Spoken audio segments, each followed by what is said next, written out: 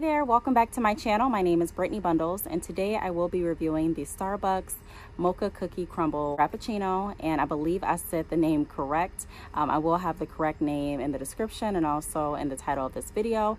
So if you are interested, be sure to give this video a big thumbs up. Please make sure that you are subscribed and let's get right into the video.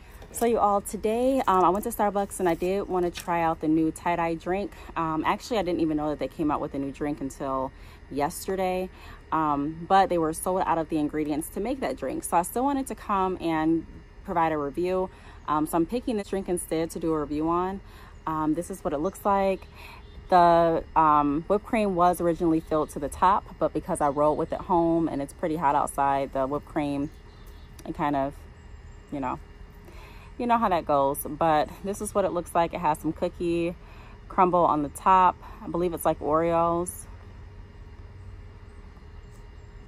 And again, it's a Frappuccino. So I'm just gonna taste it and see what I think.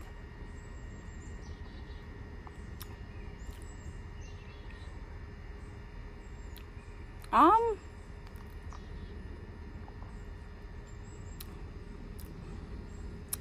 I like how cold it is because it's so hot right now, but um, I'm not, I'm not gonna lie, I don't really like the taste. I don't think it's nasty, but um, it's too chocolatey for me. It's um,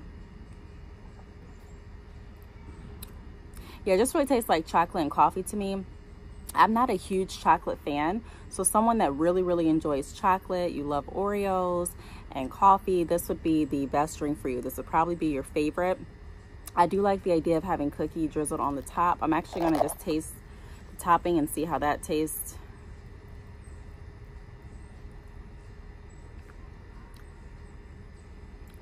Yeah, I definitely believe that's Oreo. So it's not nasty.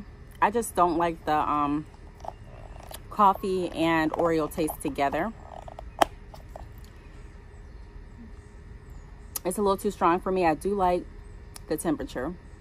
Like I said, because it's it's uh, hot right now.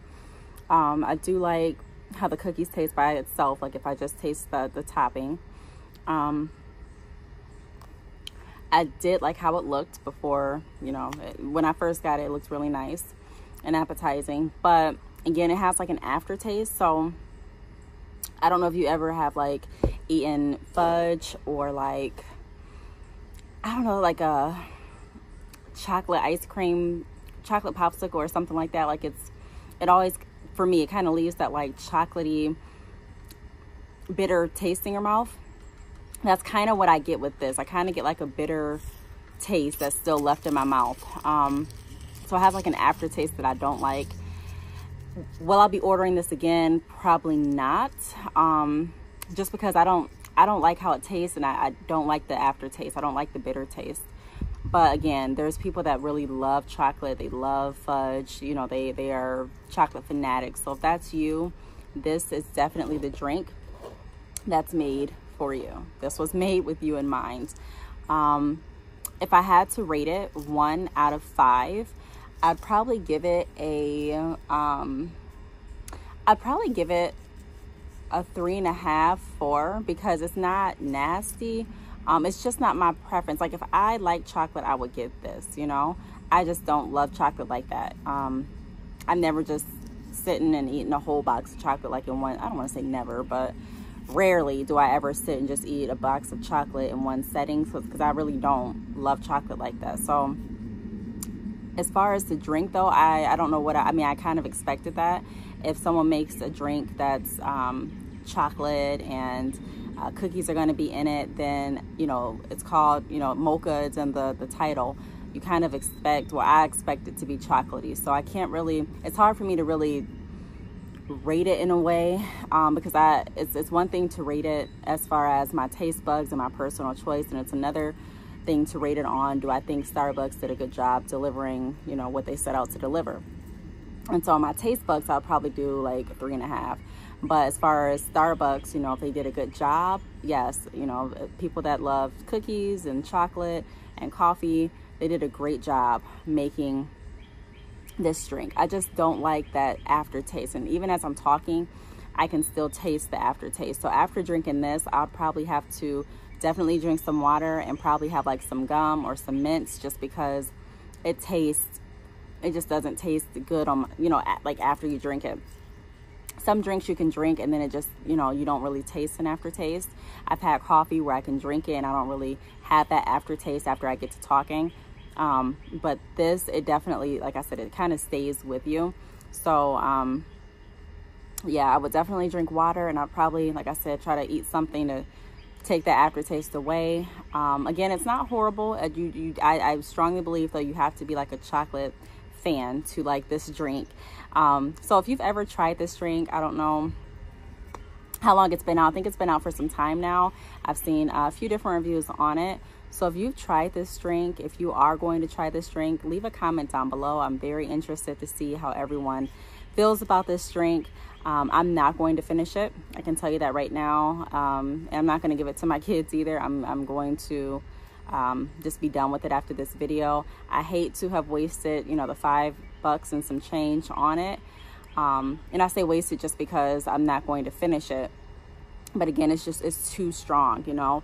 Sometimes you can drink coffee if it has espresso in it and you know some people are like this is too strong for me sometimes if you have coffee and it doesn't have enough creamer it may be too strong for people you know it every to each his own so it doesn't mean that something is disgusting. It just means that it's, you know, it's too, it's too much for me. It's too overbearing. I feel like if, um, I feel like if there wasn't as much chocolate, it could be pretty much fair for chocolate lovers and also people that don't love chocolate.